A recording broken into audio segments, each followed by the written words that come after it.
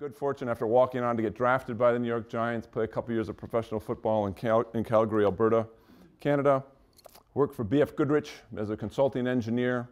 One of the things that I found is that as we traveled the country trying to fix plant problems, didn't make any difference whether we spent $5 million or $10 million, how much we spent to try to fix the problems. If we didn't help the people, the problem didn't get fixed.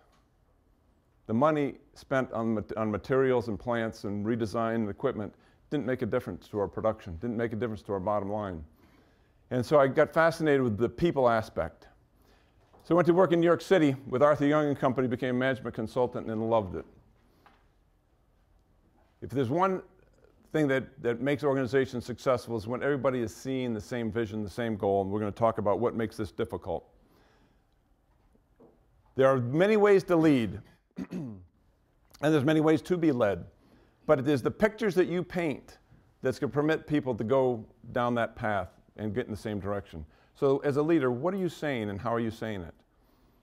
What is it that you're communicating as a leader? And all of you are leaders in some capacity and looked up to in your organization. What is it that you're saying that other people are role modeling and following you? How clear is the picture you're painting? And the point is, is that this is uniquely, this is in every one of you. You have a purpose, you have a vision, and you have a set of guiding principles that reside inside of you today. That when you honor it, you are being most meaningful. And your organization has it too. Every organization has it also. They have it. When they are honoring it and they're on their game, they are living this. I was very impressed with the seminar.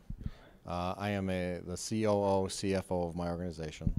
And uh, while a lot of it is inherently unknown or understood, um, pulling it together and giving us some of the tools to implement what they covered is what I found uh, valuable.